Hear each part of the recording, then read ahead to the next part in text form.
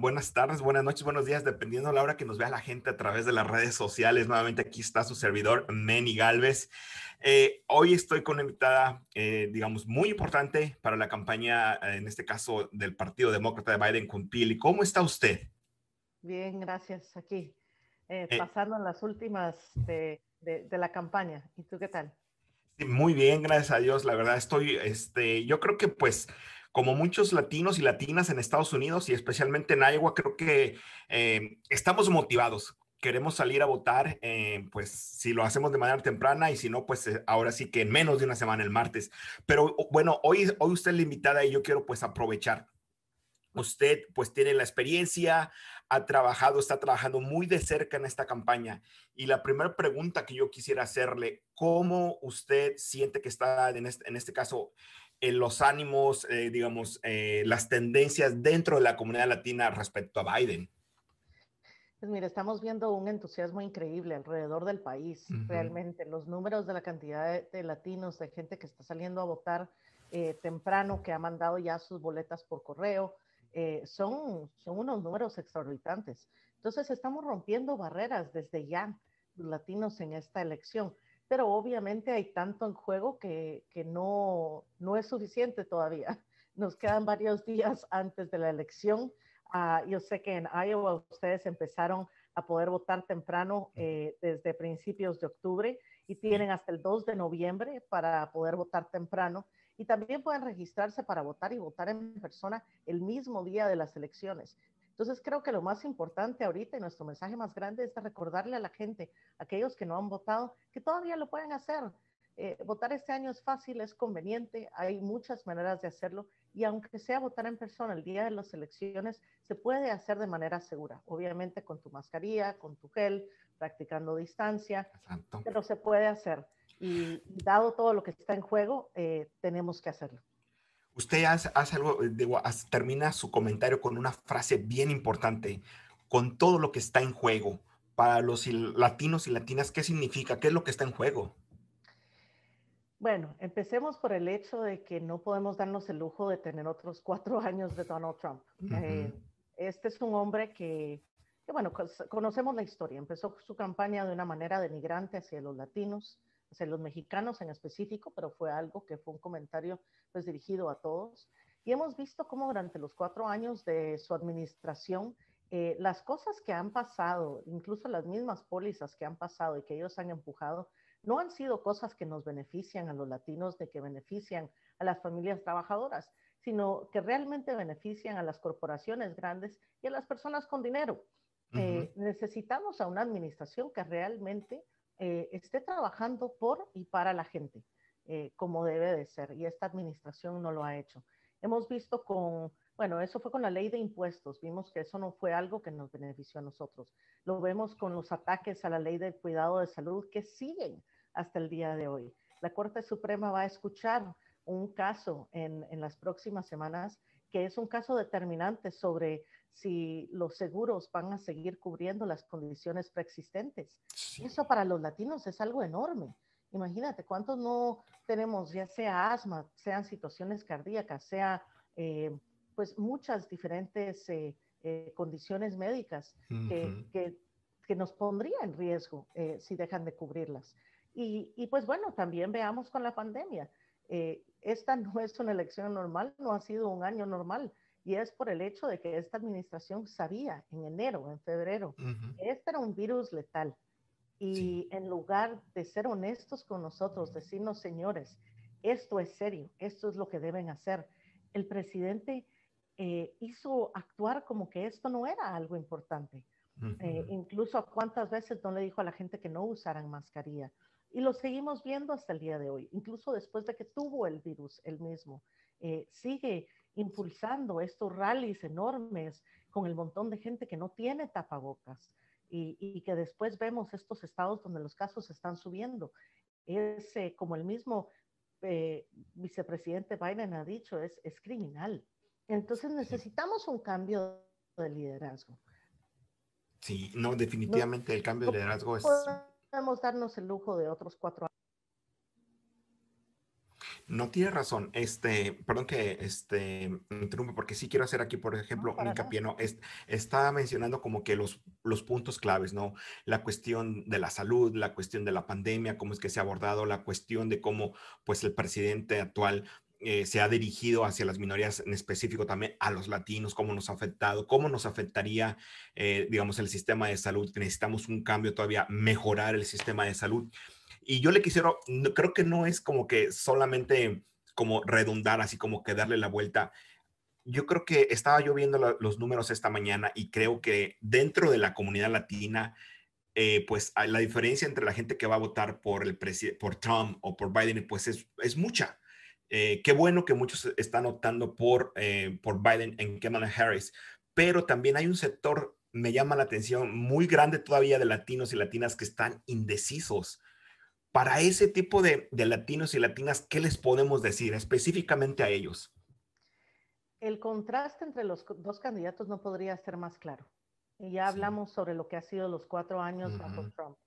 Lo que Joe Biden y Kamala Harris están ofreciendo es eh, no solo un regreso al respeto y a la dignidad, que es algo que necesitamos en este país, sino el poder lidiar con todas estas crisis que estamos viviendo, la crisis moral de la que ya hablamos, la crisis económica que envuelve sacarnos de esta pandemia, el poder asegurarse que nuestras pequeñas empresas eh, tengan los fondos necesarios para poder sobrevivir, que las familias trabajadoras vean otro cheque, otro estímulo, como vimos al principio, y que costó poder llegar a la administración a que siquiera aceptara eso.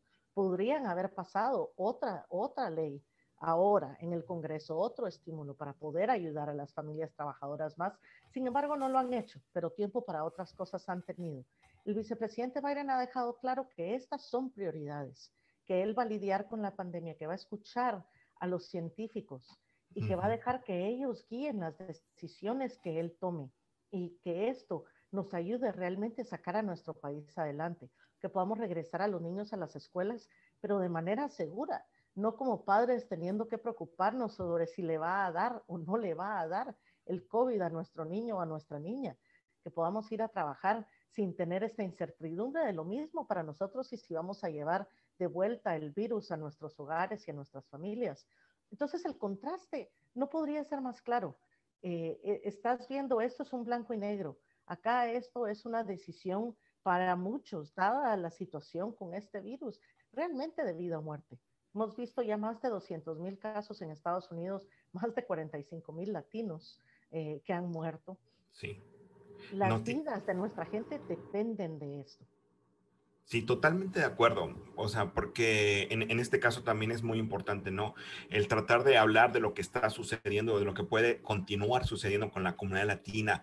Y en esta misma lógica, digamos, voy a hablar de todas estas personas que aún como que tienen, eh, digamos, su voto indeciso. Yo escucho eh, y le quiero comentar y saber qué es lo que usted piensa, qué es lo que usted nos puede decir para la gente aquí en Iowa. Una, la cuestión, la cuestión, por ejemplo, de los derechos de las mujeres. y otra, es más que obvio que mucha, mucha gente aún tiene relación con sus países en México, Centroamérica.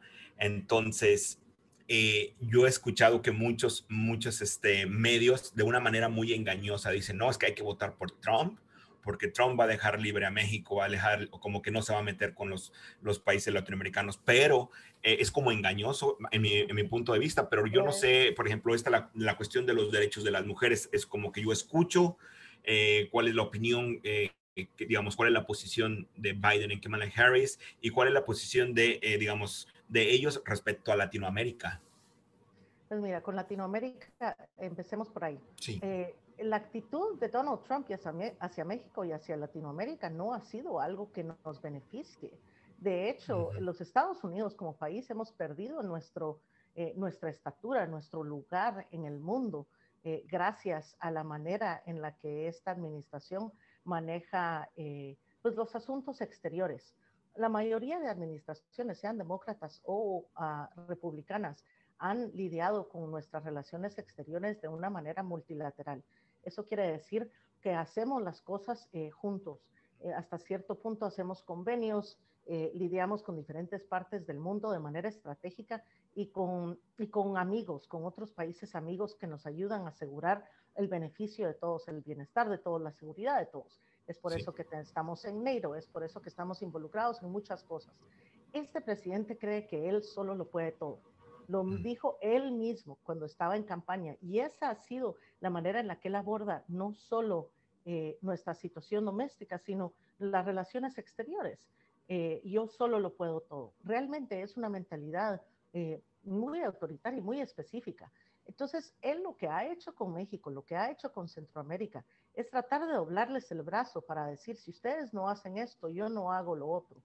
Esa no es una manera de, relacionarnos con nuestros países amigos, con los países con los que tenemos las tasas más altas de, em, de, importación y de exportación, por ejemplo. México, que es uno de nuestros, eh, de nuestros pues partners en la región mucho más grande en este sentido. Entonces realmente la situación en nuestros países no mejora teniendo a Trump. Al contrario, desestabiliza la región mucho más. Mira incluso con migración, cuántos miles de inmigrantes están en este momento en la frontera con México, viviendo en, realmente en campamentos, en carpas, porque este presidente destruyó nuestro sistema de asilo y porque cree que estas personas no tienen valor. Eso desestabiliza a la región, aparte de la crisis eh, humana y la crisis de derechos humanos que esto significa. Si hablamos de la situación económica y de la estabilidad de la región, esto no lo ayuda, al contrario, empeora las cosas. Entonces, no, este presidente no sería bueno, no es bueno, no ha sido bueno para estas relaciones con Latinoamérica. A cambio, el vicepresidente Biden estuvo en esta situación por ocho años y por muchos años más cuando estuvo en el Senado. Él ha trabajado con los líderes de Estado de diferentes países en Latinoamérica y alrededor del mundo y lo ha hecho de una manera pacífica, de una manera tranquila, en la que se puede tener una, una relación buena con los líderes de Estado de diferentes países y se puede dialogar y encontrar diferentes acuerdos, como hablábamos antes, para encontrar el beneficio de los diferentes países.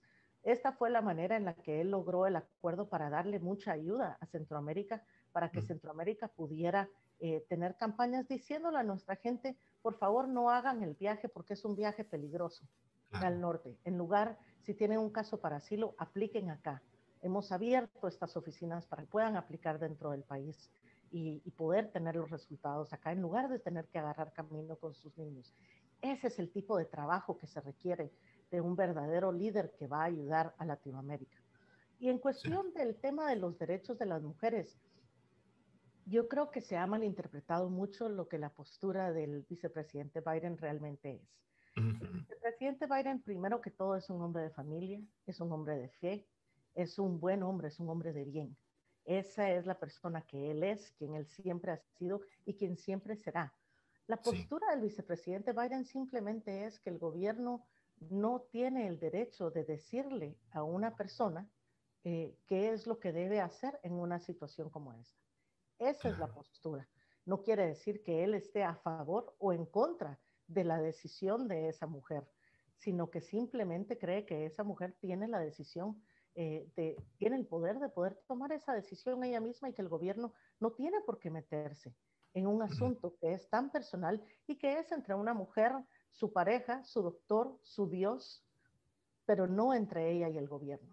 Entonces existe una diferencia muy grande entre cómo los republicanos quieren presentar la postura del vicepresidente Biden y donde él realmente está. Exacto. Bueno, creo que a mí creo que y espero que para la mayoría de las personas que nos están escuchando o viendo, creo que fue muy claro las dos explicaciones, las relaciones con Latinoamérica, con las mujeres. Y bueno, yo hice esta pregunta a Latinoamérica porque, pues, usted sabe, a pesar podemos estar 10, 15, 20 años y las relaciones que aún tenemos, nuestros lazos con nuestros países de origen es muy fuerte. Entonces, de ahí la, digamos, la importancia y la relevancia. Pero pues, eh, finalmente yo le quisiera, pues, eh, preguntar eh, algún mensaje final, sobre todo también otro detalle, ¿no? Eh, el hecho de que muchas veces en nuestras familias somos familias divididas, que a lo mejor el papá sí puede votar, pero la esposa no, o la mamá este, no puede, pero este, a lo mejor el hijo o la hija sí puede. Entonces, mm, e, ese tema, ¿cómo es que nosotros podemos involucrarnos y sobre todo que los jóvenes voten? Porque son los que es que mis papás no pueden votar. Entonces los papás se sienten intimidados por todo el ambiente que hay, ¿no? Entonces, ¿qué se les puede decir a los jóvenes que están en esas familias? Bueno, yo creo que, en bueno, para los jóvenes en específico, eh, pues es, es, nuestra responsabilidad no solo votar por nosotros, sino votar por nuestras familias y, y, ayudar a nuestras familias a que si necesitan ayuda sobre cómo registrarse, cómo votar, el poder ayudarlos a hacerlo. Aquellos que pueden, como tú bien dices, también vemos muchos de nosotros que venimos de familias mixtas cuando se trata de estatus migratorio. Y en esas situaciones todavía es más importante que seamos la voz de nuestros familiares y amigos que no pueden ejercer su derecho al voto y que nosotros no demos por sentado y nos quedemos eh, al lado cuando se trate de votar, porque tenemos un derecho que muchos de, de nuestros seres queridos no tienen. Entonces, el futuro de ellos está en nuestras manos también. Entonces, primero que todo, creo que, creo que eso es importante mencionar, esa responsabilidad. Pero aparte de eso, mira, los latinos tenemos, eh, tenemos la posibilidad de hacer la diferencia en esta elección. Quien gane eh, la presidencia, quien sea el próximo eh, que esté en la Casa Blanca, que nos saque de esta pandemia, que tome las decisiones sobre nuestra democracia, todo esto depende de nosotros. Los latinos somos una población que está creciendo en el país en números enormes. Y en Iowa incluso lo hemos visto, oh, cómo esto ha cambiado y cómo la población ha crecido. Entonces, eh, hemos visto el poder que nuestros votos pueden tener en el pasado y en este caso es todavía más crítico que salgamos a votar, que hagamos que se escuchen nuestras voces y que le pidamos cuentas a nuestros oficiales electos. Ah, es, es, es lo más importante que podemos hacer en este momento, para nosotros mismos, para nuestras familias ah, y pues para nuestras comunidades, porque no, no vivimos solos en una isla. Eh, dependemos el bienestar de unos del bienestar de otros y esa solidaridad eh, también se extiende cuando se trata del voto. Exacto, totalmente de acuerdo con usted. Pues yo creo que ya abordamos como que algunos puntos que no había tratado con otras personas que he tenido la oportunidad de compartir y que la gente en Iowa, eh, como les digo, para mí sí es importante porque en Iowa todavía somos, eh, digamos, una comunidad latina de primera y segunda generación y por eso el uso del español para mí es muy importante aquí en Iowa. Y pues muchas gracias por su espacio, sé que está muy ocupada ahorita con la campaña, pero pues yo le agradezco que haya tomado estos minutos para hablar con los latinos y latinas de Iowa. Y pues este, muchas gracias y este, pues esperemos que eh, el martes en la noche, eh, pues estemos hablando de que el país cambió. Sí, que estemos celebrando una, una victoria. Y una última cosa te quería decir, porque mencionaste algo importante, que es que en Iowa muchos eh, de la comunidad latina son primera o segunda generación de inmigrantes. Sí. Yo soy primera generación de migrante. Eh, ah, habemos muchos en, en, todos lados, ¿verdad? Pero creo Que, que, es importante darnos cuenta que, que, lo que está en juego realmente es ese sueño americano que nuestros padres tuvieron para nosotros. Eh, y si eso va a existir para las generaciones del día de mañana. Eh, las amenazas a nuestra democracia bajo esta administración no son un juego. Si nosotros destruimos eso, eh, destruimos la posibilidad de poder tener realmente un país libre y democrático para las generaciones que vienen y que puedan ellos vivir el, el sueño americano que nosotros estamos viviendo eh, o para el que todavía aspiramos. Ah, entonces, eso creo que es muy importante tenerlo en mente. Y, y, lo último que te iba a decir es que para aquellos que todavía están buscando información sobre cómo votar, dónde votar, eh, dónde registrarse, eh, sepan que pueden ir a voyavotar.com y ahí pueden encontrar, eh, pues buscar el estado de Iowa para encontrar la información de dónde pueden ir a votar, cómo registrarse, qué necesitan llevar y que recuerden que todavía pueden votar temprano hasta el 2 de octubre, que puede, hasta el 2 de noviembre, perdón, que pueden registrarse y votar el mismo 3 de noviembre en persona. Así que por favor, no, no nos quedemos a un lado. Esta elección es importante que nos presentemos y que, y que hagamos que se escuche nuestra voz. Claro, me quedo con eso. Hagamos que se escuche nuestra voz. Pues muchas gracias y estamos en comunicación y, ahora, como le digo, esperemos que este, pues este 3 de noviembre eh, estemos celebrando que pudimos hacer un cambio en nuestra nación. Sí, me parece. Ok, gracias. Gracias.